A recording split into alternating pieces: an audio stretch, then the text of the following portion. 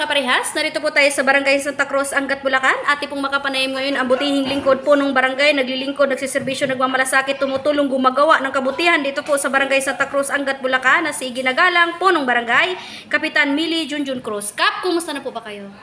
Yes, okay lang po naman. Okay lang po.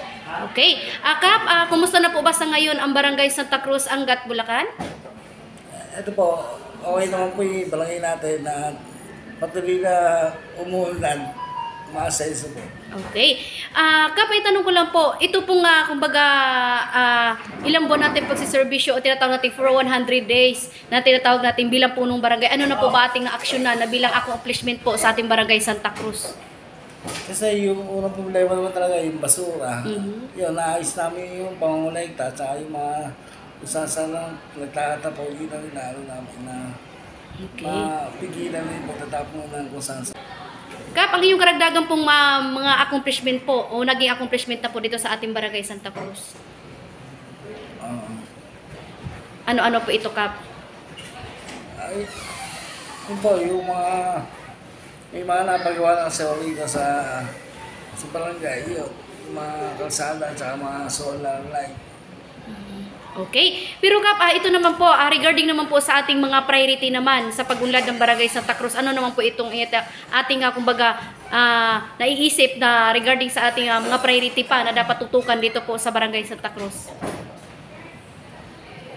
Siguro yung ano nga, yung sa, pi- sa peace and order nga siguro. Panawagan na lang po o mensahe sa ating mga minamahal na kabarangay at lalo na po sa ating mga kawani dito sa Barangay Santa Cruz, Angat, Bulacan. Ayun po, ah, sana patuloy na suportahan po ang aking pagiging kapitan niya po at patuloy na tumulong po sila sa para po sa kagaganda po po at kabubuti ng aming barangay. Wow! Okay, mensahe nyo Kap muli Kap sa inyong pong mga minamahal na mga kabarangay.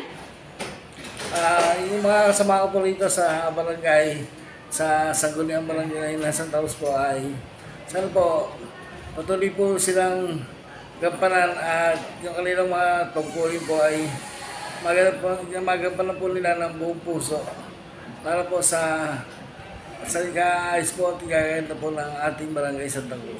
Wow, okay. Yan po ang mensahe ng ating butihing lingkod, punong barangay, dito po sa barangay Santa Cruz, Angat, Bulacan, na kung saan ay talagang pagkakaisa, may respeto, pagmamahalan ang ating ah, dapat gawin sa barangay Santa Cruz. Ayon ka pa kay Kapitan. Ayan po, mag-aaral po mga kaparehas. Lake Astro po ng Paresos. Ingat-ingat po kay Kap.